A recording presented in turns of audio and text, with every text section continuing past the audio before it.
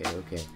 Okay, so check this out. When you beat the surf challenge on the blue side of the map, you get increased turn speed. So check this out. In jail, you turn and boom, you're out of the jail instantly. Look how cool that is.